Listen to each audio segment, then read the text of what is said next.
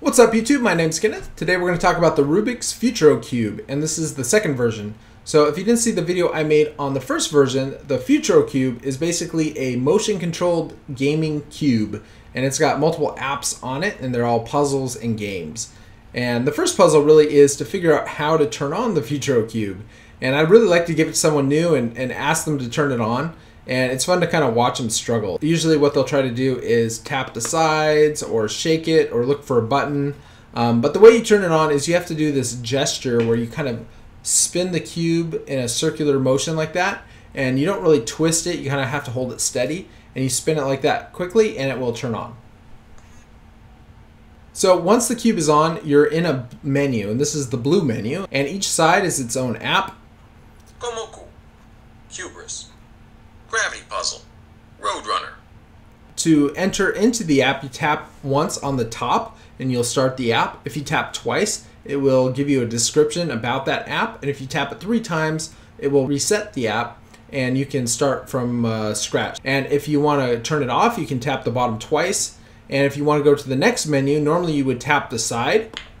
But uh, when you first get it, it's kind of disabled. And the reason they do that is uh, you kind of have to get used to the tapping and people will accidentally tap the side when they mean to tap the top and, and vice versa. So uh, they disable the other menus when you first get it and the way you re-enable the menu is you have to turn the cube end over end. Hubris.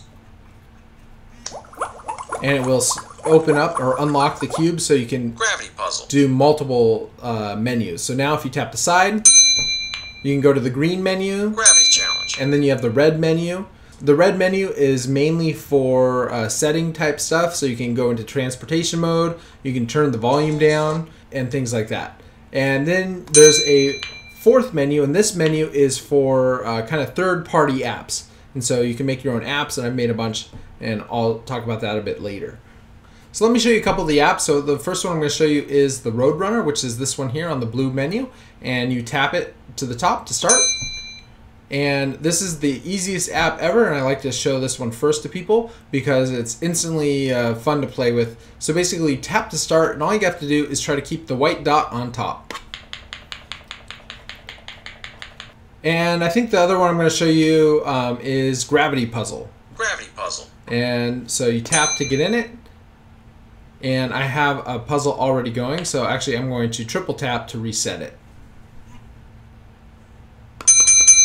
For shuffling. So it starts and it says tap for shuffling, and so you tap and it will shuffle it up. Shuffling.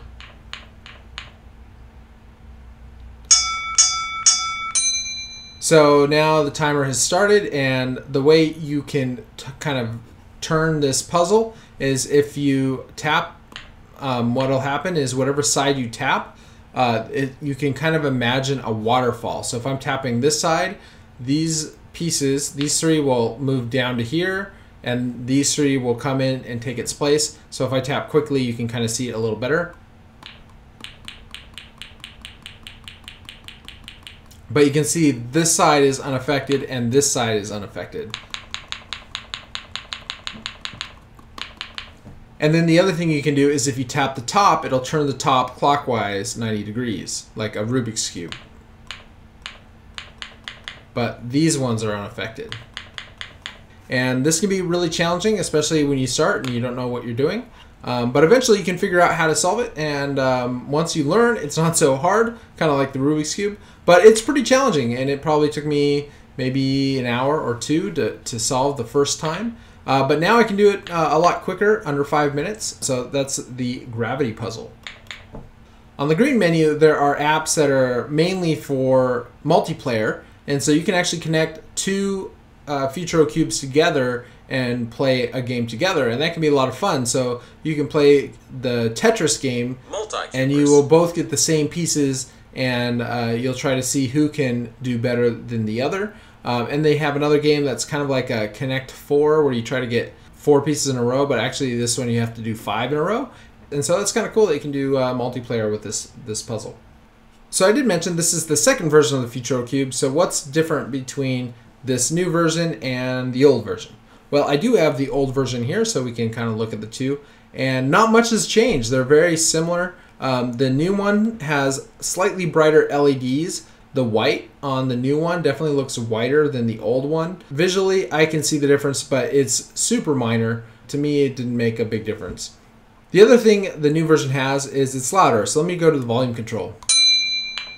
If you go to 6 on the new one, it's much louder than the 6 on the old one. So this one's louder, and the way they made it louder was they put the speaker right up against the edge of this hole here, and so it kind of gives a little bit of a shadow now, which isn't that um, bad. Uh, you can see what the old one looked like on this side, and so the shadow is definitely noticeable. And the final thing that's really different between the two is the new one uh, uses Bluetooth 2.0 for multiplayer and uh, for its connectivity.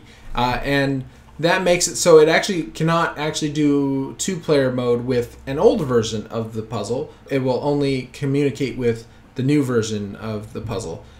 So that's a little disappointing that they don't cross communicate with the old versions.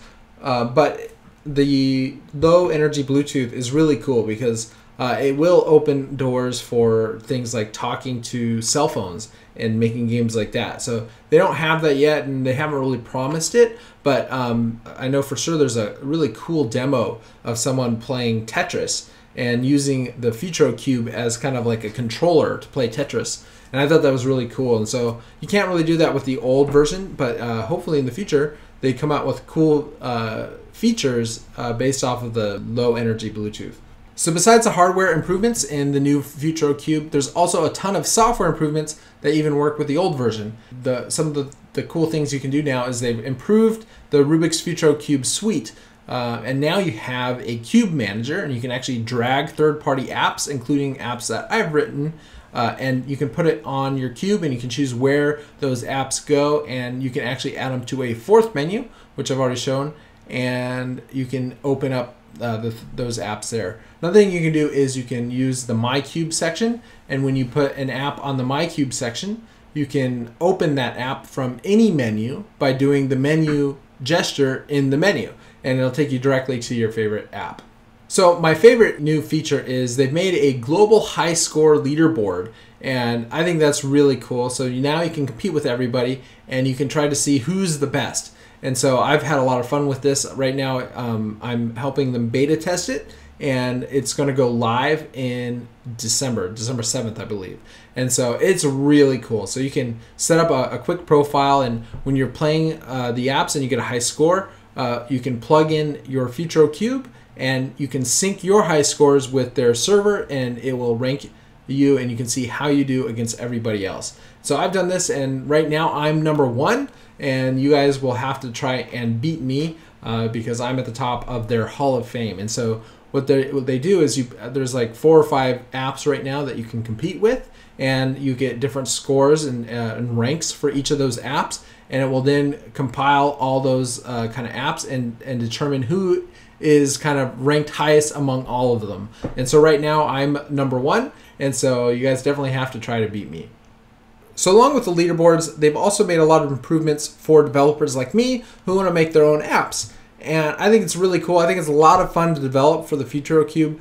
Uh, it's basically you can use a C-type language and you can easily turn uh, LEDs on, uh, respond to tap events, uh, respond to twisting, and you always know what side's up. And it's really fun and easy, uh, and it's really kind of a fast feedback loop. You do a little coding, you hit a button and boom, it's on this Futuro Cube. It's in your hands. It's really fun. So it's a fun experience. So anyway, I'm going to show you two of the apps I've been working on lately. Um, the first one I call Musical Dice, and it's this purple one here. It's supposed to be a note. So if you tap it, you enter Musical Dice. And basically, uh, what you have here is a dice, and when you turn it, uh, each side is a different color. And when you tap a side, you get a note. Right? And you have basically a chromatic scale starting with C, the low C right here. Right, and then if you rotate the cube, so we were at one, which is the lowest. Now you go up to two and you can go back to one.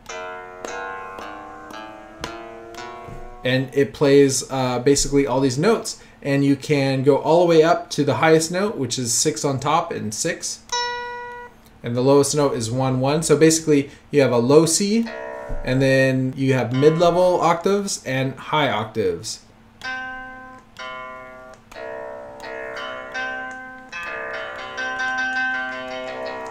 That's musical dice. So the other app I'm going to show you is the Rubik's Cube app. And the Rubik's Cube app was originally written by the guys who made the Futuro Cube, but I modified it a bunch uh, and kind of improved it. So um, originally it had kind of different colors and I really wanted colors that to me looked more like the Rubik's Cube, so I made different colors. The other thing is in this new version of their SDK, you can now use your own sounds and, and add uh, your own recordings. So I recorded the name so you can hear it. Rubik's Cube. Right, and uh, if you tap it twice, it has my description I came up with. This is the classic Rubik's Cube. Tap aside to twist the layer clockwise. If you tap the layer on the bottom, it will turn the layer counterclockwise. Shake it to shuffle, and good luck. So before you couldn't scramble it, uh, and so let me go into it. Shake the cube to scramble. So now if you shake the cube, it'll scramble. If you tap aside, it'll go clockwise, and I, I recorded the sound of me turning a Rubik's Cube, and so now you hear that instead.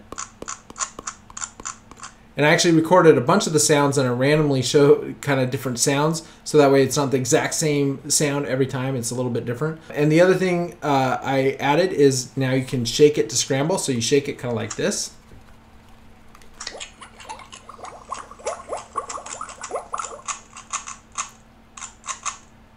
And then um, when you start turning it, it's going to time you, and it's going to use the exact same, or it does use the same APIs to save your high scores. So you can use this app and you can get a high score, and soon it'll be on um, their website, and you can compete and see who can get the fastest time.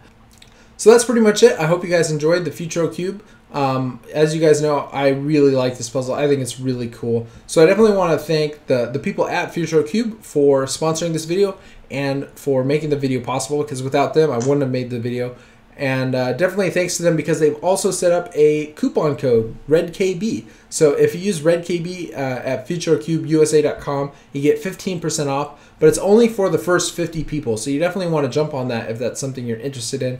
Uh, and if you live outside of the US or Canada, I'm sorry it's not going to work, but uh, you can still buy one at FuturoCube.com. Click on buy, and you can find out where you can get one. And I was told that they, they do have a bunch of uh, kind of holiday deals coming up. So hopefully you guys get a deal too. So yeah, that's it. I hope you guys enjoyed this video. Thanks guys for watching, and of course, have a great day.